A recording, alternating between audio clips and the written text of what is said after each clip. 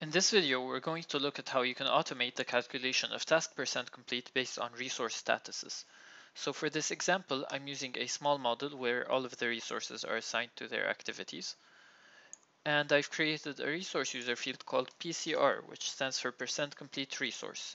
And the formula for this user field says that when the status set is concrete, formed makes the resource at 35%, reinforced makes it at 65%, and poor makes it at 100%. And then there's another task user field, PCT, percent complete task, that would average these resource user field percentages and add them up to the task at the task level. So if a task has all the columns that are at 100%, it is at 100%. And if half of the columns is at 50% and the other half is, for example, at 100%, the task percent complete would be 75%. So let's see these in action. I'm going to switch for visualization purposes to the 3D view and resource status dates and colors. And let's say that all of level one, for example, uh, except for, let's say, the columns here, is poured. So assign status on selected resources. And then if I just go home, recalculate user field values, I can see the 100% here, the 100% here, and the 100% here. Now, I'm using fractions. If you want percentages, we can just go there and maybe add times 100 to the formula. So recalculate user fields, and now we have 100, 100, and zeros.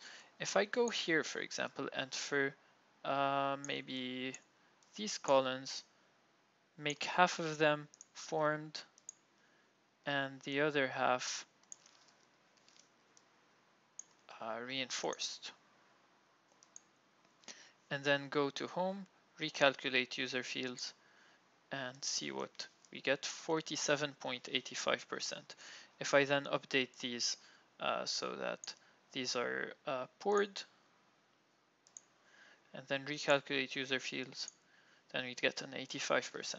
So let's fill this up with some values just so, for example, sake, so this could be reinforced and here half of these could be um, formed and the other half could be reinforced. And although this doesn't make sense, let's say this is poured and let's recalculate user field values and we'd get these percentages. Now, to export this, you have to, you can export the graph as is, but I've created a layout from before and I'm going to open that layout and go to export PCT. And what this does is that it's sorted by finish date and task name and percentages. And I'll show you why this is useful when we go to Excel. So I'm going to go to the Gantt chart and switch to list mode because I, in that case, I don't want the uh, nodes. And I can just select these and I can export or just copy. In this case, it's easier to copy and go to Excel and I'm gonna paste. So we have the IDs, the finish dates, the names, and the percentages. So here we can just go there and plot a random plot. So maybe insert uh, this, or let's do a bar chart instead. So insert colon something like this. So we have the task names as well as their percent complete. And we can just go there and select data, then add our finish dates in there.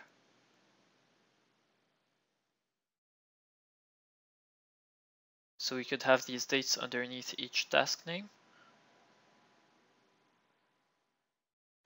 And then we could use this bar chart in a project review meeting, for example, to check what date we're at, for example, if we're on the 23rd of 2017, and check what the percentages should have been and how we're slipping and where and why.